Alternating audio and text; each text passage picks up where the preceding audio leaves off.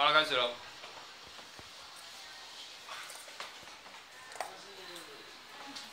他们每个都加三嘛，所以 B 跟 A 差一项，所以它就是 A 再加上三。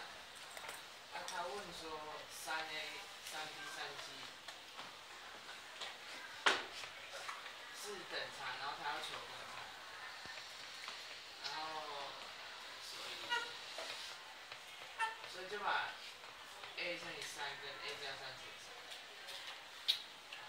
你在跟谁讲话？嗯。你跟黑板感情好像不错，刚刚打到黑板，因为黑板是他的啊，然后独占黑板。你打算什么时候跟他告白？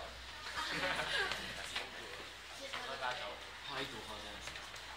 希望你这样随意碰触他，可以告你性骚扰。你在这里说出事实吧。我讲了他定格了，不知道为什么。观看影片他可能那个。你在想我告白，他在想怎么告白？他一直点，要不就是三乘以 A 加三，再减掉三 A，就会等于它的公式。因为后项减轻就这样子。到到到，慢慢吞掉哎。这个人怎么这样？好，先看一下，黄道讲还不错啦，只是第一个我还是习惯，我还是希望同学在讲话的时候尽量面朝前嘛。你可曾看过我对你这样讲话？我有这样讲话过吗？有吗？我上课有这样上过吗？哎，各位同学，来看一下这一题啊。我不在面壁思过吧？我总要看着你们嘛哦。所以第一个习惯还是要看嘛，就盯着一个人看嘛。如果你不知道看哪，你就盯着后面拉拉球看，抱着铁塔在爬树的那个拉拉球，你就盯着他看就好，好不好？就像我们在那种如果要在人多啊，比如说几十个人、几百个人那种场合演讲啊，我们在讲话的时候其实也是盯着一个定点看的。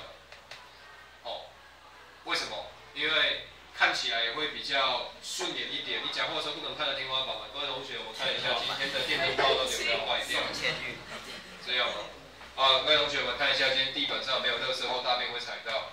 不可能嘛，所以你一定要盯着一个地方看。那像我上课一定就是各组稍微瞄一下。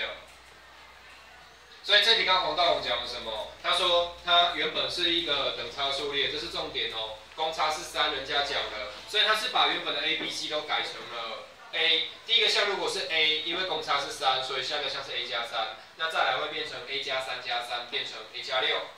然后人家把原本的题目改成了三倍，三 A、三 B、三 C，所以 A 变三倍变三 A，本来的 B 变成 A 加三，你把它变成三倍以后，它会变成三倍的括号 A 加三，乘开以后它会变成什么东西？三 A 加九。那其实后面这一项也多余了啦，因为他刚刚也说了，人家题目已经开门见山的说它是一个等差数列，所以啊后项减前项就是公差。其实他讲的很好，只是他因因为忙着跟黑板告白，所以讲的有点不知所措而已哦。